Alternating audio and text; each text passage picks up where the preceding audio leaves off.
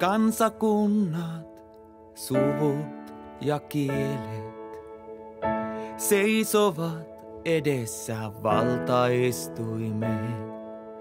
Taistelut on käyty, kuivaat kyyneleemme, näemme sinut kasvoista kasvoihin. Pelastus tulee Jumalaa.